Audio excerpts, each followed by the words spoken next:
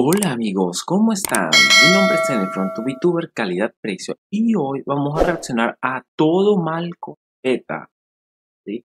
la organización por el derecho de los animales y otras cosas que se meten más polémicas que otras tonterías. Mata más perros de lo que ayuda. Y sin más que decir, comencemos. El video por parte de nuestro amigo todopoderoso, el señor Triline, el señor de las tres líneas. Puede que para algunos sea una sorpresa, pero PETA desde su creación ha sacrificado miles de perros y gatos cada año y no Ah. porque tengan la rabia, estén sufriendo o algo así, no. Sacrifica miles de perros y gatos no rehabilitables y perfectamente adoptables porque simplemente no les gusta que sirvan como mascotas. Ujú. De hecho, su visión sobre lo que es lo mejor para el animal está tan distorsionada que prácticamente en cualquier situación consideran que es mejor matarlos. ¿Por qué? Porque una de sus Ah. máximas es, los animales no son nuestros, lo que directamente se opone a la dinámica dueño-mascota. Créeme si te digo que si de ellos Bueno. dependiera, matarían a todos los gatos y perros del mundo, incluyendo los callejeros, porque otra vez con ese razonamiento de persona dañada mentalmente, dijeron que era mejor sacrificarlos antes de que contraigan una enfermedad o sean atropellados. ¿Cómo es mejor sacrificarlo? Porque quizá en el no, futuro, puede que sí o puede que no, le atropelle un coche. ¡Qué persona! Vamos a estar claros.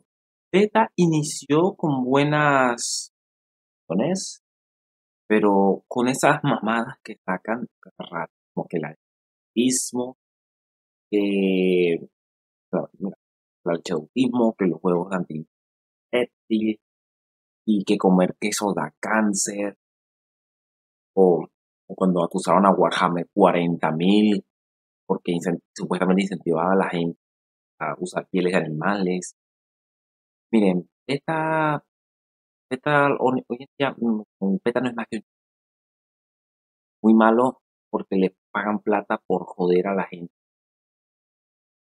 Como lo de las feministas ahorita, que el problema no es que, el problema radica en que se aplican en el área equivocada, porque PETA podría ir a buscar, por ejemplo, a las condiciones de incentivar que se mejoren las condiciones de los animales como el ganado.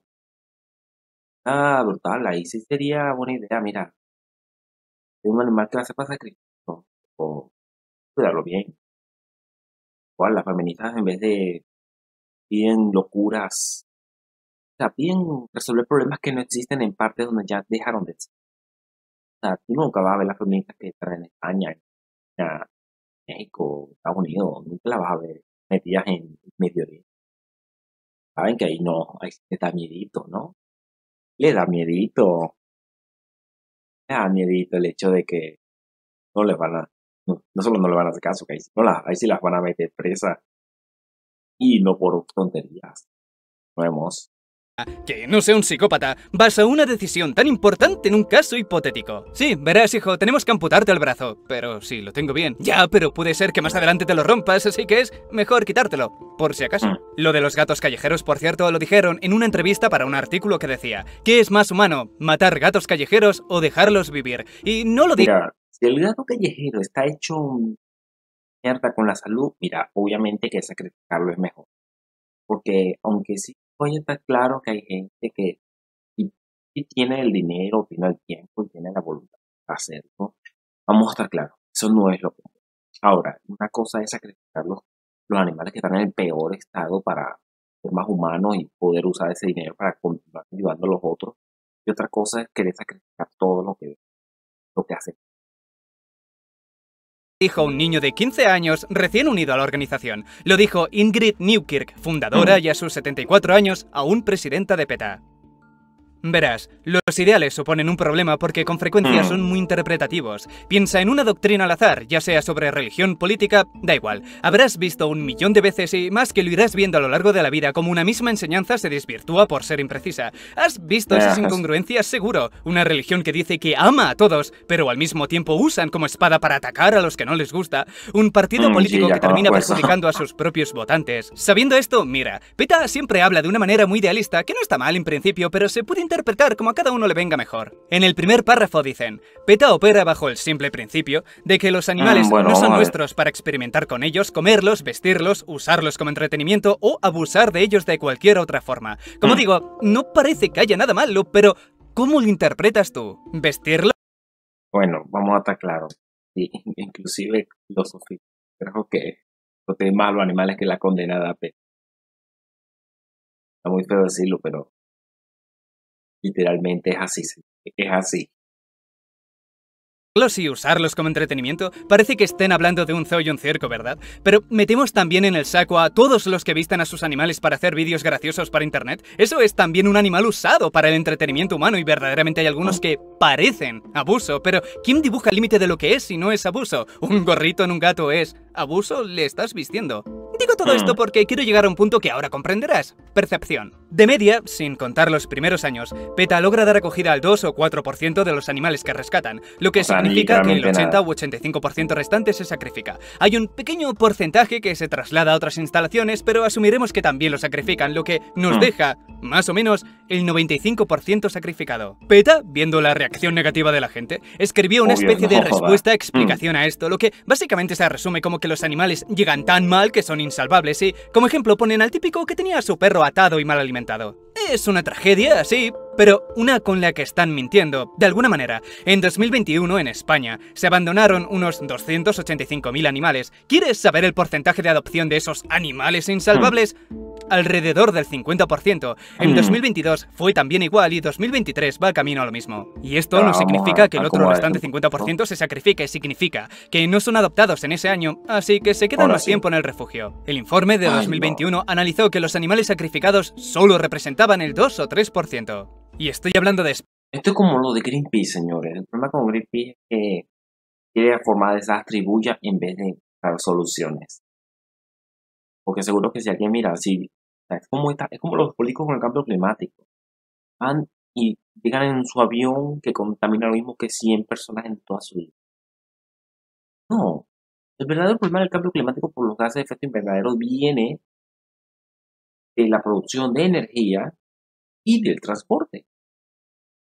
Curiosamente, si todo fuera energía nuclear y el transporte usaran mejores los recursos, cargar la contaminación bajaría muchísimo como te das cuenta que la agricultura contamina más que la ganadería.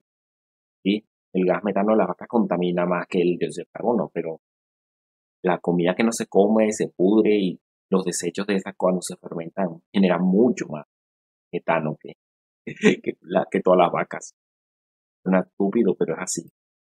España, si hablases de Argentina, que tiene más cantidad de mascotas por habitante, su tasa de adopción es aún más alta. Claro que un pequeño mm. porcentaje devuelve esas mascotas por el motivo que sea, pero la gran mayoría terminan bien. Cuando la mascota encuentra una nueva casa, solo es cuestión de tiempo que se adapte de nuevo. ¿Qué os digo? Si tenéis el algoritmo adecuado, veréis muchos de esos casos en TikTok. Tiempo.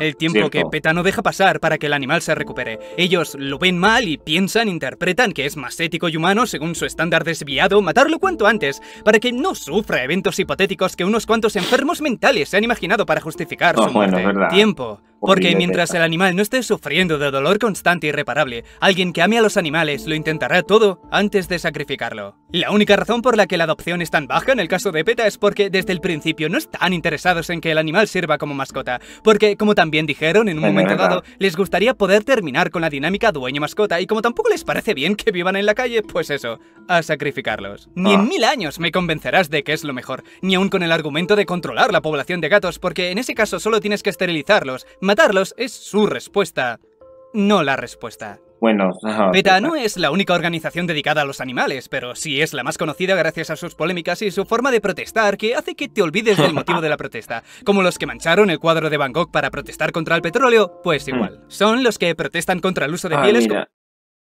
Cierto, mira. Idiotas no se dan cuenta que. Espera un segundo que con, con, este tinte de pelo ya contaminaron, o sea, con este tinte de pelo y este pegamento pegándose la mano a la pared, ya contaminaron más que Van Gogh en toda su vida. Suena chistoso, pero es así. Literalmente con este tinte de pelo, además, creo que todo por la vaina del Reino Unido, que alguien estimó que si el Reino Unido dejara producir petróleo, la contaminación solo bajaría 0.1%. O sea, no bajaría una mierda. Ah, Estados Unidos, no, no les reclaman.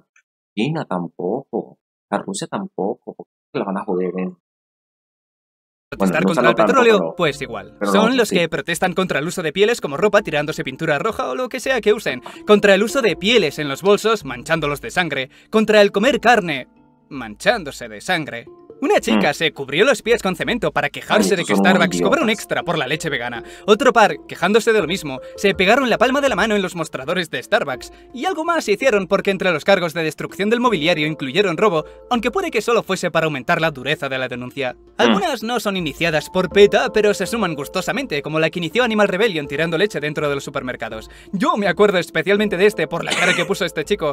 Mira, este, esta cara es cuando. Ya. Esta cara es, mira, anoche o no vengo nunca más. Literalmente. Ay, no. Perder la fe en la humanidad. No hay expresión facial más clara que esta para decir ¿Qué estoy haciendo con mi vida? En general, ya entiendes la idea. Mm. Protestas que buscan un impacto emocional y mediático, pero con frecuencia la absurdez con la que se presentan sobrepasa cualquier buena intención y se termina hablando más sobre la protesta en sí que sobre el tema al que tratan de dar visibilidad. Como Ah, acabo de hacer yo, hablar de la cara de compromiso del chico en lugar de, como dicen, que beber leche animal es maltrato. Otros Ah. hablarán de cómo cortaron la carretera. Otros que iban vestidos como animales. Otros de las mujeres que iban desnudas. Y lo digo en femenino porque aunque he visto algún que otro hombre, por lo general son mujeres que de no ser por el logo de PETA, pensaría que sencillamente son exhibicionistas que quieren una excusa para que se le vean las tetillas. Esta Ah, es bueno, la razón por la que nació la primera conspiración relacionada estos son con PETA, idiotas, la que dice que les pagan precisamente para hacer el ridículo y que nadie les tome en serio. Pero Mm. no me gusta, demasiado simple, y en cualquier momento podrían ponerse de acuerdo para delatar la conspiración, lo que crearía un circo innecesario. La Mm. realidad es que no hace falta contratar a nadie porque, como ya dije cuando mancharon el cuadro de Van Gogh, verdaderamente hay personas que creen estar haciendo algo con este tipo de protesta, pegándose la mano en un mostrador, tirando leche, cortando carreteras, manchando edificios. El impacto lo consiguen, claro, pero no se habla de lo que quieren que se hable. Hmm. Poca simpatía del público van a conseguir si directamente o indirectamente les molestan y les atacan. Porque te prometo que casi todos hoy en día odian que se sigan usando animales en los circos, pero odian más que te entrometas en su vida y le cortes la carretera. O le grites diciéndole lo mala persona que es por comer carne. Bueno, vamos a estar claros. Hay gente que, pues, mira, con estos animales de circo, estos ya no pueden volver a la naturaleza. Mejor no sería obligas al circo a cumplir con las normativas adecuadas o que los mandes a una reserva. Pero, sea, pero estas tonterías que hacen, esta, mm, no sé, y es como el tipo ese que, me acuerdo del tipo ese que se pegó la mano al cemento y en Alemania y, y le van a tener que quitar la mano.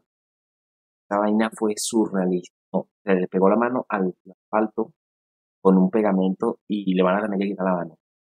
Ay, no. Perdiendo la fe en la humanidad.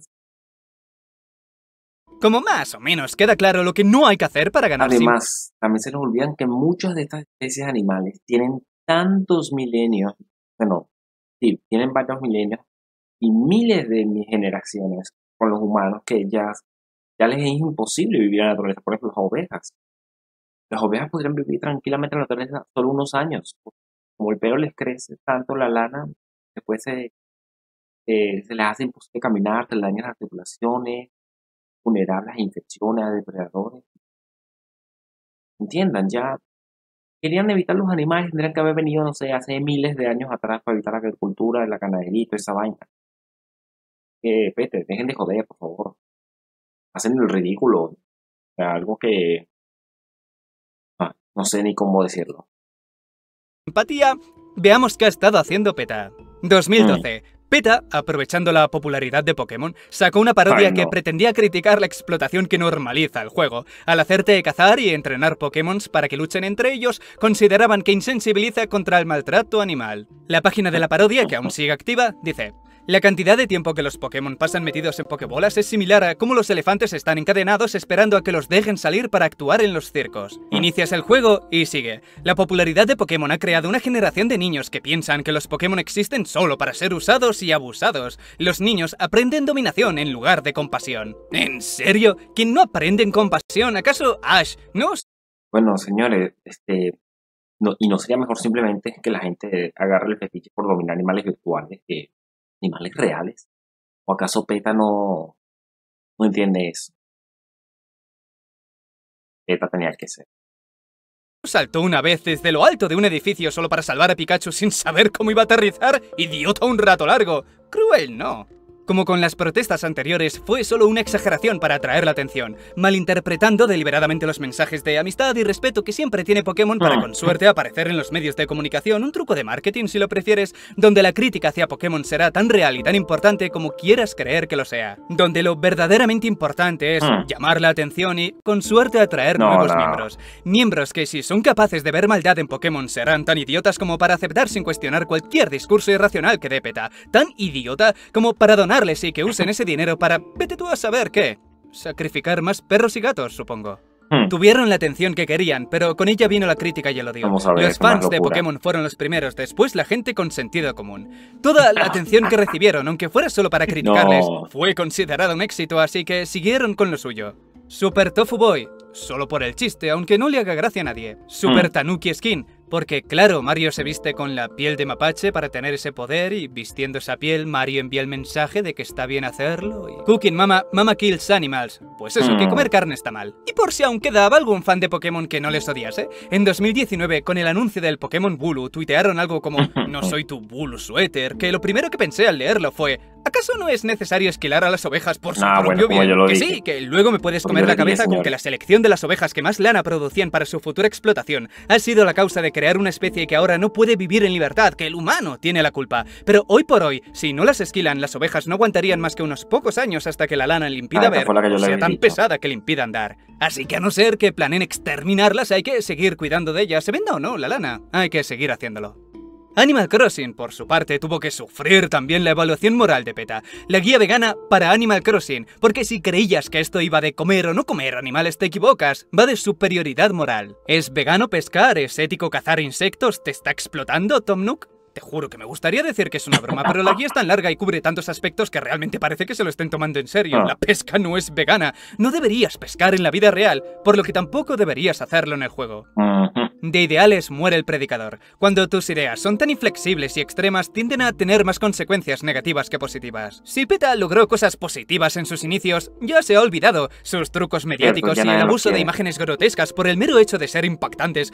Es más, ahora que lo recuerdo, una vez que hubo una protesta PETA, corrígame si me equivoco, que una, o, o- hubo una protesta de PETA en una convención furry, porque decían que es vestirse de furro, vamos a tomar el micrófono un segundo, porque decían que vestirse de furro incentiva.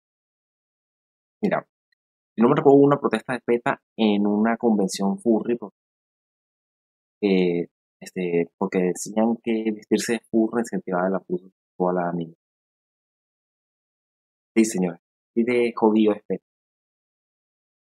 Al tiempo que sugieren que tu actitud es la culpable, sustituyen cualquier buena intención. Te Mm. atacan, te traumatizan con imágenes que no voy a comentar, te acusan y No aún se sorprenden cuando en lugar de volverte vegano de la noche a la mañana, sigues comiendo carne pero teniéndole más asco a PETA.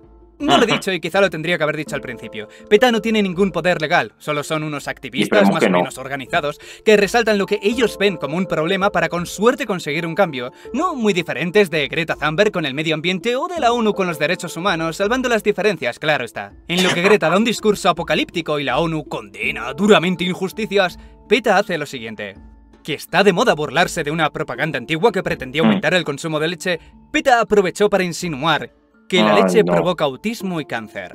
Una relación que ellos quisieron ver en estudios antiguos que para nada llegaban a esa conclusión. Distorsionaron los datos solo para meter miedo, desmentido y Mm. ridiculizado, pero en lugar de admitir que se habían equivocado, insistieron en que la leche provoca autismo. Su campaña duró hasta 2020. Durante más de 5 años podías ver este banner en su página principal, asegurando que había estudios que lo confirmaban. Ay, no. Cuando meter miedo con el autismo dejó de funcionar, se tragaron el troleo que decía que beber leche es un símbolo de supremacía blanca. Te muestran cómo Ay, maltratan no. unas vacas diciéndote que eres cómplice. O sencillamente te dicen que beber leche de vaca es lo mismo que beber la Mm. leche de tu vecina.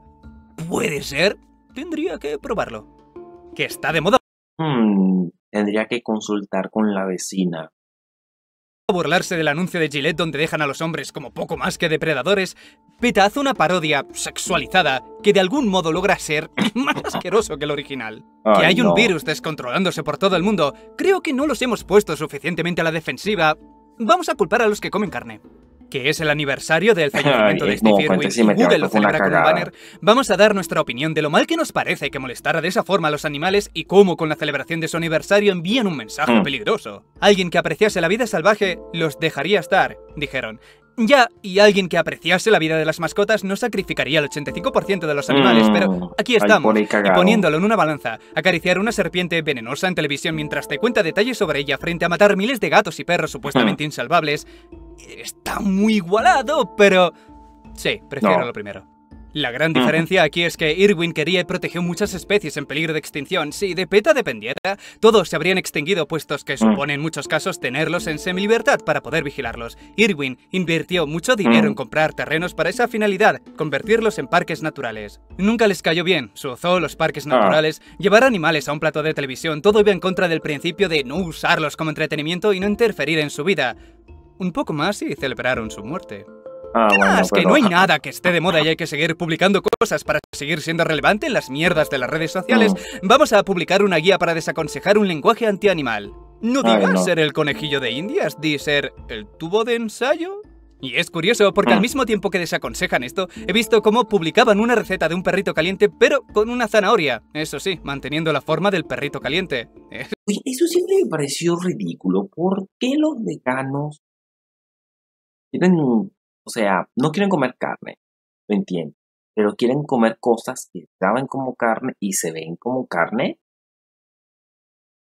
En primer lugar, no más bien, no deberías aborrecer todo lo que tienen. ¿eh? Para pensar, señores. Es, es raro, ¿verdad? Los que quieren perritos calientes no harán eso jamás, y los que ya son veganos, ¿por qué darle una forma comúnmente asociada a la carne? En fin, esto fue una versión de una publicación de Jennifer Ball donde dos años antes quería que se dejase de usar el negro para representar cosas malas, por ejemplo, lista negra Ah. para las palabras prohibidas, mercado negro para la venta de cosas ilegales, blackmail como sinónimo de extorsión. Dijo básicamente que el lenguaje Mm. moldea el mundo, lo cual es cierto, pero no tuvo en cuenta que negro y oscuro en este contexto no nació a raíz de una similitud con la piel. Ver racismo en algo así dice más de la persona que lo resalta que de la palabra misma. Lo de pues bueno, ahí están, intentando no ahogarse con su saliva. Sin importar si las intenciones de PETA son buenas, las soluciones que proponen son demasiado radicales. horribles, Repasando un poco todo No, lo que hemos visto, radicales. intentando ver un punto intermedio, lo de los refugios no tiene ningún sentido. Necesitaría alguien que no fuera de PETA presente para que dijera si realmente solo acogen los peores casos para darles un final indoloro, o no se molestan en salvarlos en primer lugar. Mm, Todos no, los no se molestan en zoológicos son malos. Desde luego, los que tienen animales grandes encerrados siempre me ha parecido una aberración, a no ser que la finalidad sea la protección de la especie. En cualquier caso, los parques naturales, los que están en semilibertad, siempre me ha parecido una alternativa mejor. El eterno hay que dejar de comer carne. Vamos a ver, si yo fuera vegano, no dedicaría ningún esfuerzo en comerte la cabeza con que tienes que dejar de comer carne, porque Mm. sé que por muchas imágenes macabras que te ponga de los mataderos, no Mm. cambiarás de opinión. Y aunque lo consiguiese, no podría hacer que todo el mundo deje de comer carne, así Cierto, que eso no he solucionado el problema no. realmente. Lo que haría, puestos que esos mataderos van a existir por mucho que me oponga, sería enfocarme en que todo el proceso sea lo más humano posible. No solo la granja tiene que ser al aire libre y darle al animal una buena vida, sino que su Mm. Tiene que ser rápido, indoloro y sin ninguna angustia. Y ahora sí, ahora tendríamos un punto en común. No hace falta que dejes de comer carne para estar de acuerdo con eso. Seríamos Mm. dos a favor de una buena causa en lugar de uno contra el otro para al final no cambiar nada. Vi una cosa muy interesante de la doctora Temple Grandin sobre este tema exactamente. En los 80, Mm. esta mujer con autismo escribió varios trabajos sobre cómo se comportaban los animales en el matadero y en la granja en general. Mm. Resaltó su autismo porque es lo que le ayudó a comprender cómo reducir el estrés de los animales. Comparó la hipersensibilidad a estímulos no verbales común en el autismo con la misma sensibilidad en los animales. Mm. Ellos le dan mucha más importancia a los olores, las luces, el movimiento rápido, sonidos fuertes. Sabiendo todo eso, diseñó la planta perfecta para eliminar todos esos estímulos y fue un éxito. Todo estaba en los detalles. Suelos que no resbalasen sin sonidos Mm. fuertes, nadie gritando, sin movimientos bruscos, grupos pequeños, lugares un poco estrechos porque de alguna forma se sienten más seguros. Redujo drásticamente el estrés que sentían y en general mejoró el trato. Gracias a Ah. que también escribió cómo afectaba el estrés a la calidad de la carne, hizo que las granjas fueran las primeras interesadas en mejorar la calidad de vida de los animales. Esto sí es un cambio. Ahora, mientras Grandin lograba todo esto, PETA tenía su propia estrategia para infundir miedo y asco hacia los mataderos. ¿Cómo? Mm. En su campaña It's Still Going On, compararon varias víctimas de asesinos en serie con los animales en el matadero. Mm. Innecesariamente Mala, mala idea. inhumano injusto para las víctimas y gráfico. Y ya está. Luego se fueron a comer una ensalada. con forma de chuleta, supongo.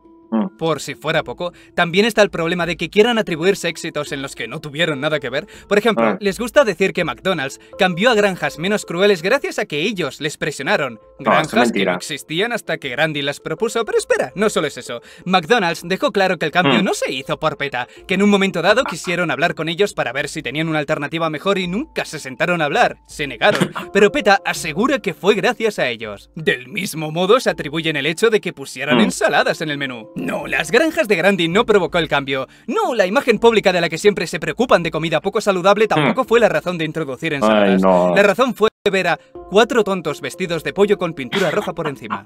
Yo, yo he provocado el cambio, ¿lo veis? Todo gracias a mí. Mm, Están en un punto con una reputación tan mala que aun cuando la causa es buena, como eliminar algunas pruebas crueles en animales, la reacción hacia ellos es negativa. Si últimamente no se habla mucho de PETA, no es porque hayan dejado de hacer tonterías, Es que no solo tonterías, sino que ya tienen un,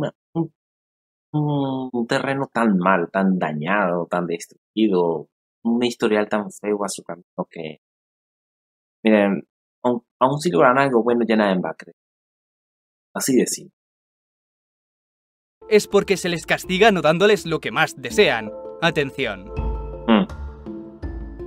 Bueno amigos, este fue el primer video que hago un reacción al video de Treeline, es un canal que yo sigo hace tiempo, pero nunca había hecho un reacción y bueno, sin más que decir, nos vemos. Gracias por ver.